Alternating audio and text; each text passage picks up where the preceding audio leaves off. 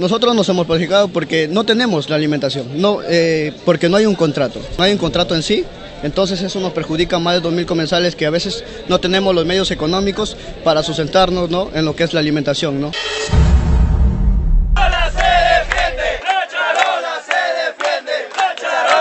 Un grupo de alumnos que pertenecen al Comité de Defensa de los Comensales, CODECO, tomó la Universidad Nacional Pedro Ruiz Gallo, ubicado en la ciudad de Lambayeque, luego de conocer la suspensión de los servicios del comedor universitario.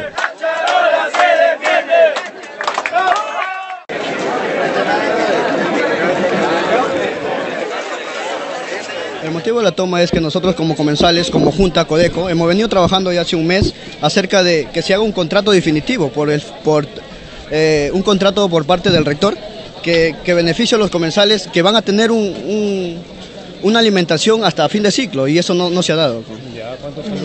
Eh, los perjudicados son como 2.000 2000 comensales.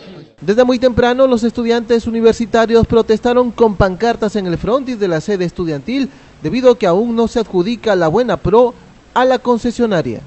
Nosotros nos hemos perjudicado porque no tenemos la alimentación, no, eh, porque no hay un contrato, no hay un contrato en sí, entonces eso nos perjudica a más de 2.000 comensales que a veces no tenemos los medios económicos para sustentarnos ¿no? en lo que es la alimentación ¿no? extra. Y por lo general ustedes son de fuera de Chiclayo, ¿verdad? Sí, nosotros somos gente provinciana, la mayoría, el 80% somos gente provinciana, que necesitamos ese beneficio del comedor universitario. Tras la protesta se realizó una reunión en donde estuvieron presentes el rector Jorge Oliva Núñez, funcionario de logística y el concesionario del comedor. Tras la reunión se firmó un acta en presencia de la Defensoría del Pueblo para que en breve se proceda a la adjudicación de la Buena Pro.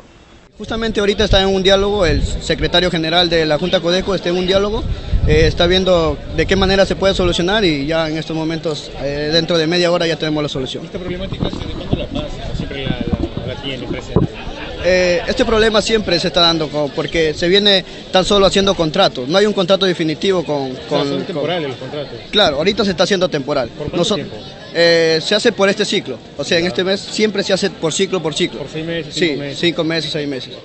Sin embargo, los alumnos advirtieron que continuarán con su medida de protesta hasta que exista un documento oficial que garantice el servicio del comedor hasta el último día de clases del ciclo 2019. La suspensión de este servicio afectaría a más de 3.000 estudiantes.